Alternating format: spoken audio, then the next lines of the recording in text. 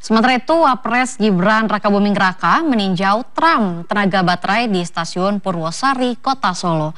Tram bertenaga baterai ini digunakan untuk solusi transportasi kota, solusi kemacetan, dan ramah lingkungan.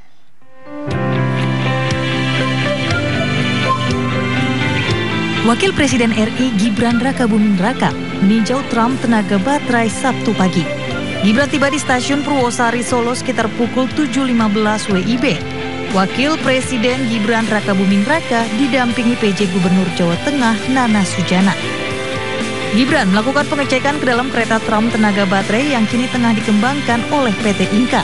Dalam kesempatan tersebut, nampak Gibran mendapatkan paparan dari PT Inka didampingi PT KAI dan PJ Gubernur Jawa Tengah. Hanya sekitar selang 15 menit, Gibran meninggalkan lokasi stasiun Purwosari.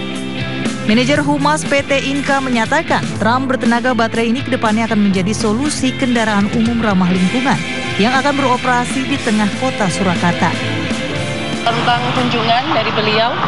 Jujur kita sangat surprise sekali atas dukungannya beliau. Tapi yang jelas untuk agenda kenapa ke sininya adalah internalnya beliau ya. Iya. ya. Yang jelas uh, ini tadi mensupport PT Inka untuk terus melakukan inovasi teknologinya. PT Inka terus melakukan inovasi teknologinya dalam mengembangkan tram bertenaga baterai. Uji coba akan terus dilakukan mulai tanggal 4 hingga 22 November 2024. Dari Solo, Jawa Tengah, Septian Toro, Ainus melaporkan.